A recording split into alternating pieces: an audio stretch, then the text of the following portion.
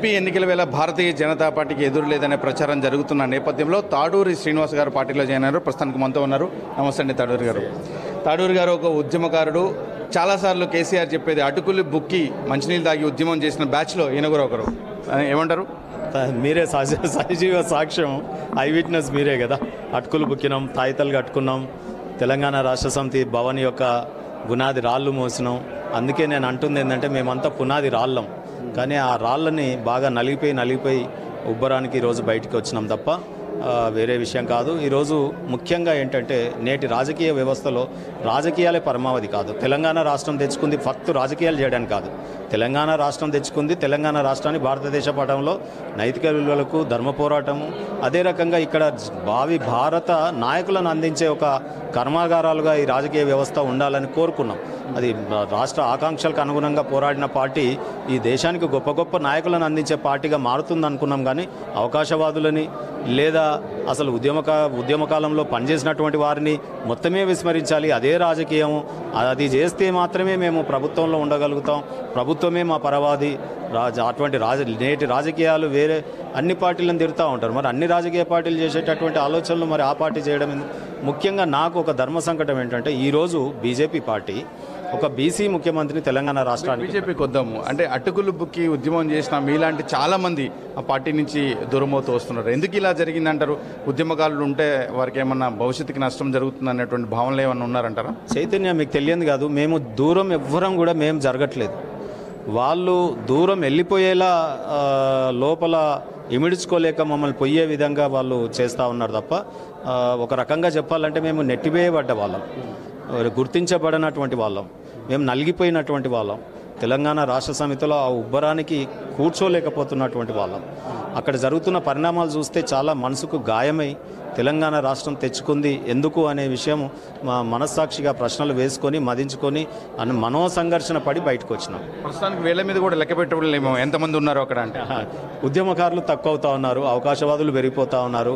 పెట్టుబడిదారులు పెరిగిపోతూ ఉన్నారు. అక్కడ సోషల్ ఇంజనీరింగ్ లేదా ఆ పార్టీలో ముఖ్యంగా నాకు సంబంధించినంత వరకు లేదా సుదీర్ఘకాలం పాటు రాష్ట్రం ఏ ఆకాంక్షలతో మరి రాష్ట్రం సాధించాలో అది ఏం నెరవేర్చుకోవాలో వాటికి ఏ నెరవేర్చడానికి మేము పోరాడినామో అది మాకు మాత్రమే ఉంటుంది కదా.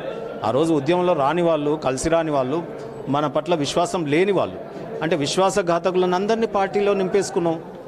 మీ నాయకత్వం పట్ల కానీ తెల ఆ రోజు ఉన్న తెలంగాణ రాష్ట్ర సమితి పట్ల కానీ తెలంగాణ రాష్ట్రం సిద్ధిస్తుందని కానీ విశ్వాసం లేనటువంటిది అందులో విశ్వాసఘాతకాలకు పాల్పడినటువంటి నమ్మక ద్రోహాలు చేసినటువంటి వాళ్ళని తెలంగాణ రాష్ట్రం రాకుండా అడ్డుపడినటువంటి వాళ్ళని దానికి నిలయంగా మార్చేశారు తెలంగాణ రాష్ట్ర సమితి. ప్రజలు కూడా తగిన గుణపాఠం చెప్పారు అనుకోవాలా డెఫినెట్గా నేను అంత దూరం వెళ్ళని. ప్రజలు చాలా ఆలోచిస్తారు. తెలంగాణ ప్రజలు చాలా విఘ్నులు. ఎప్పుడు వారు ఎవరితో సేవ చేయించుకోవాలి? అల్టిమేట్గా రాజకీయ వ్యవస్థలో మనం సేవ చేసే వాళ్ళమే.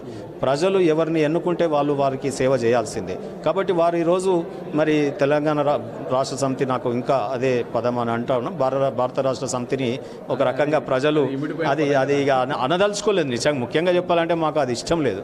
సో ఆ పార్టీని ప్రజలు ఈరోజు ఎన్నుకోలేదంటే అర్థం ఏంటి? అంటే ప్రజా విశ్వాసం కోల్పోయినట్టు. ప్రజా విశ్వాసం ఎందుకు కోల్పోయినాం? మరి చర్చ జరగాలి కదా పార్టీలో. ఇప్పుడు నేను ఒక రాష్ట్ర కార్యదర్శిని. మరి రాష్ట్ర కార్యదర్శిగా సమీక్ష చేసుకోవాలి కదా. ఎందుకు ఓటమి చెందినాం? ప్రజలు ఎందుకు మనం కాదనుకున్నారు? ఇంత పోరాటం చేసినటువంటి వారిని ప్రజలు ఎందుకు విస్మరిస్తూ ఉన్నారు? అనేది ఎక్కడ కూడా అటువంటి చర్చలు జరగట్లేదు. అంటే రేపు గెలుస్తారు మళ్ళీ వెళ్ళిపోతారు. ఎవడు? పార్టీ పార్టీ కార్యవర్గం. మరి ఆ పార్టీ కార్యవర్గాన్నే మీరు విస్మరించి పార్టీ కార్యవర్గంలో ఉన్నటువంటి వారిని మమ్మల్ని ఎంత ఇదిగా అంటే కొత్తగా వచ్చిన అవకాశవాదులు ఎమ్మెల్యే మంత్రి అయినాక ప్రజలకు ఏదైనా పని గురించి పోయినప్పుడు అసలు ఉద్యమకారులు అంటేనే ఆడ చులకనగా అసలు ఇంకేం ఉద్యమకారులు అనడం? అంటే అసలు ఉద్యమకారులు లేనిది పార్టీ వచ్చిందా? అంటే మన పుట్టుకని మర్చిపోతే ఎట్లా? అంటే మన జన్మస్థానాన్ని మర్చిపోతే ఎట్లా? పునాది రాళ్ళని మర్చిపోతే ఎట్లా? అందుకే నేను ఒకటే చెప్తా ఉన్నాను వర్కింగ్ ప్రెసిడెంట్ గారు. మరి ఆ తండ్రి యొక్క ఆశయాన్ని ఎవరు నెరవేర్చాలి? తనయుడు నెరవేర్చాలి. అందుకే అది ఏమన్నాను కొటేషన్ మీడియాలో అన్నాను. ఆనాటి తారక రాముడు దశరథుని యొక్క కోరికని తీర్చడానికి అడవిలోకి వెళ్ళినాడు. మీరు అడవికి కూడా పోనక్కర్లేదు. తెలంగాణ రాష్ట్ర సమితిలో ఉండండి.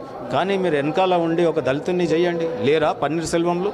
ఒక జయలలిత గారు ఒక మహిళా నాయకురాలు చేయగలిగింది రాష్ట్రాన్ని నడపగలిగింది ముఖ్యమంత్రి పదవి ఇచ్చేసారు లేదు మన్మోహన్ సింగ్ గారిని అందరు డమ్మీ అనొచ్చు కాక సోనియా గాంధీ గారు ఒక నాయకునికి ఇచ్చేసి నడిపించినారు కదా. అంటే మీకు ఆ సత్తా లేదా? అంటే ఒక బీసీని కానీ ఎస్సీని కానీ పెట్టి పార్టీ పార్టీ నడిపించలేదా ఒక ముఖ్యమంత్రిని పెట్టి పార్టీని సుప్రీం చేసినట్టు అయితే ముఖ్యమంత్రి అయినా మంత్రులైనా ఎమ్మెల్యేలైనా ఎంపీలైనా ఇలా చెప్పినట్టు వింటుండే. పార్టీ ముఖ్యం అనుకుంటుండే. అది తీసుకురాలే ఇక్కడ కూడా. మీకు ఎంబీసీ కార్పొరేషన్ చైర్మన్గా ఇచ్చారు. కానీ వెయ్యి కోట్ల రూపాయలు జీవోలకు పరిమితమైన తప్ప ఎక్కడ కూడా ఒక రూపాయి విడుదల విడుదలై మీరు ఏదైతే పేదలకు సేవ చేయాలన్నారో వాళ్ళు చేయలేకపోయారు అనేది వస్తాం కానీ వాళ్ళు అనటం ఎంబీసీ చైర్మన్ చేసానికి ఏం తక్కువ చేసాం అనే మాటలు మాట్లాడే వాళ్ళకి ఏం సమాధానం చెప్తారు? ఎగ్జాక్ట్లీ నేను ఏమంటున్నా అంటే ఎంబీసీ చైర్మన్గా చేశారు. దేని గురించి చేశారండి? నా గురించి కాదు కదా. అంటే నేను రోజు జీతం కూర్చొని ఆఫీస్కి పోయి రావడం ఇంటికి భోజనం చేయడం అంతేనా? కాదు కదా ఎంబీసీలకు సేవ చేయాలి వినూత్న పద్ధతిలో పాలసీలు నిర్ణయించాలి.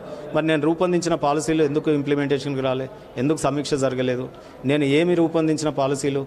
సంచార జాతులకు ఎంబీసీ మోస్ట్ బ్యాక్వర్డ్ క్లాసెస్లో సంచార జాతులను గుర్తించబడినప్పుడు ఆ సంచారం అంటేనే ఇల్లు లేని నిరుపేదలు. మరి మనం డబుల్ బెడ్రూమ్ స్కూ- స్కీము లాంచ్ చేస్తాం.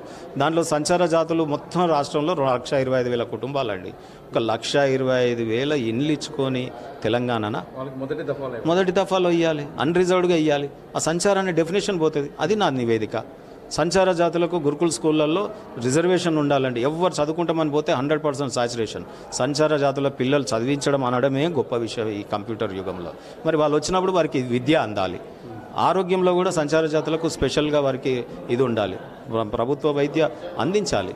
ఇంకా ఈ కండిషన్స్ ఏంటంటే అసలు నాకు దారుణం. ప్రైవేట్ ఇప్పుడు ప్రైవేట్ అంటేనేమో వాడు ఏ ఆధార్ కార్డు అడగాడు ఏ ఆరోగ్యశ్రీ అడగడు ఏం అడగాడు పోవంగానే మందులు ఇస్తాడు బిల్లు ఇస్తాడు.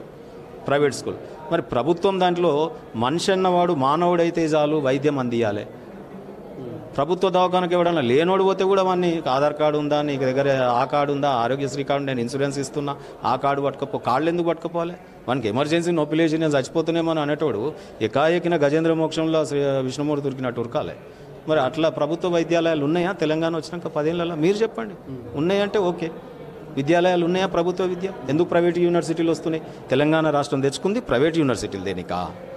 కార్పొరేట్ ఓనర్లు కంపెనీల ఓనర్లు విద్యాలయాల ఓనర్లు మంత్రులు కావడానిక? తెలంగాణ అందుకేనా మేము పోలీస్ దెబ్బలు తిన్నది మేము లాఠీలు తిన్నది? అందుకే అయితే మీరు చెప్పండి బయటికి రండి. మీరు రామారావు గారు చెప్పండి. ఈ- మార్పు ఈ కొత్త పార్టీలో మీరు ఉంటుందని అనుకుంటున్నారా? దీంట్లో ఉంటుందనే విశ్వాసం నాకు ఎందుకు కలిగిందంటే ఇవాళ ప్రపంచ పటంలో భారతదేశాన్ని మోడీ గారు చాలా పెద్ద ఎత్తున ఈరోజు అన్ని దేశాలు ఇటువైపు చూసేలా చేసినారు మీరు జీ ట్వంటీ దేశాల మీటింగ్లో దాంట్లో సన్నివేశం చూసాం. ఆర్థిక చోదక శక్తిగా రక్షణ రంగంలో ఇలా మౌలిక వసతుల సద్- సదుపాయాల కల్పనలో మోడీ గారు అమోఘంగా పనిచేస్తూ ఉన్నారు. అదే రకంగా మీరు చూసినట్టయితే ఇక్కడ బీసీ ముఖ్యమంత్రి అన్నారు తెలంగాణకి. తెలంగాణ ఏ సామాజిక తెలంగాణ కావాలనుకున్నామో బహిరంగంగా శశబిషలు లేకుండా బీసీ ముఖ్యమంత్రి ప్రకటన చేస్తున్నారు. కానీ ఆ బీసీ ముఖ్యమంత్రికి అసెంబ్లీ ఎన్నికల్లో సరైన మద్దతు రాలేదు కదా? డెఫినెట్గా వస్తుంది కదా అంచెలంచెలుగా. చెప్పగానే ప్రజలు రిసీవ్ చేసుకోవడానికి కొంత ఉంటుంది కదా. ఇప్పుడు అందుకే మన రూరల్ ఏరియాలో ఎనిమిది అసెంబ్లీ సీట్లు గెలిచినాం. రేపు ఎంపీల సీట్లు చూడండి మీరు. ఎవరికి ఇచ్చినది బీజేపీ పార్టీ ఇవ్వాలా మేము కారణం మారడానికి ఇవాళ ఈటల రాజేందర్ గారు. ఎంత గొప్పవారండి? ఉద్యమ కాలంలో. ఆ రోజు మీరే పోయినారు కదా. మరి అన్నేళ్ళ కాలం పాటు ఒక ఆర్థిక మంత్రిగా పనిచేసినటువంటి వారిని మనం వదిలించుకుంటేమి. ఇలా అదే ఉద్యమకారుడు మా దగ్గరికి మల్కాజ్గిరి పార్లమెంట్కి వస్తే అదే బీసీ నాయకుడు వస్తే నేను బీసీ ఉద్యమకారుల వైపు ఉండాలనా? లేదు నేను అవకాశవాది మొన్న పార్టీ మారిన ఆయన చుట్టూ ఆయనను గెలిపించడానికి ప్రయత్నం చేయాలనా? నాకు నాకు అదొక ధర్మ సంకటమే కదా. ఈరోజు ఫ్రీ అయినాను. వారిని ఓపెన్గా గెలిపించుకుంటాం. అక్కడ బూర నర్సయ్యగౌడ్ గారు డాక్టర్గా చదివినారు భువనగిరిలో. ఉద్యమకారుడు బీసీ బీజేపీ ఇచ్చింది కదా. ఇక్కడ ఉద్యమకారుడు కొండా విశ్వేశ్వరరెడ్డి. బీజేపీ ఇచ్చింది కదా. సీతారాం నాయక్ ఎస్టీ మనం వద్దనుకున్నాం. మరి ఇచ్చింది కదా. అంటే బీజేపీకి ఎవరు గొప్పగా కనిపిస్తున్నారు? తెలంగాణ ఉద్యమకారులు బీజేపీకి గొప్పగా కనిపిస్తున్నారు. తెలంగాణ బీసీ నాయకులు గొప్పగా కనిపిస్తున్నారు. మరి ఆ పార్టీకి బీసీ నాయకులం మేము గొప్పగా కనిపించినప్పుడు ఎవరు గొప్పగా ఇస్తున్నారో ఎవరు ఆ పునాది రాళ్ళను ఇటు వచ్చి పునాదిగా మారబోతున్నాయంటారా. డెఫినెట్గా మారుతుంది కదా. డెఫినెట్గా మారుతుంది కదా. అల్టిమేట్గా రాజకీయాలలో ఉండడానికే వచ్చినాం. ప్రజలకు సేవ చేయడానికి వచ్చినాం. ఏ వేదికనైతే మాకు చేయగలిగే అవకాశాలు ఇస్తుందో ఆ వేదికను ఎంచుకుంటాం. అది రాజకీయ పరిణామక్రమం. మీరు ఎట్లయితే ఎంచుకుంటున్నారో గెలుపు గుర్రాల పేరిట మరి మాకు ఏదైతే అవకాశాలు ఇచ్చే వేదిక ఉంటుందో దాన్ని మేము వెతుక్కోవాల్సిన పరిస్థితి. మల్కాజిగిరి ప్రజలకు మీరు ఆ నియోజకవర్గంలో వారికి ఏం అప్పీల్ చేస్తారు? మల్కాజ్గిరి ప్రజలారా ఆలోచించండి. తెలంగాణ రాష్ట్ర పోరాటానికి పోరాడిన బిడ్డ. ఇవాళ ఒక బడుగు బలహీన వర్గాలకు బువ్వ పెట్టే బిడ్డ.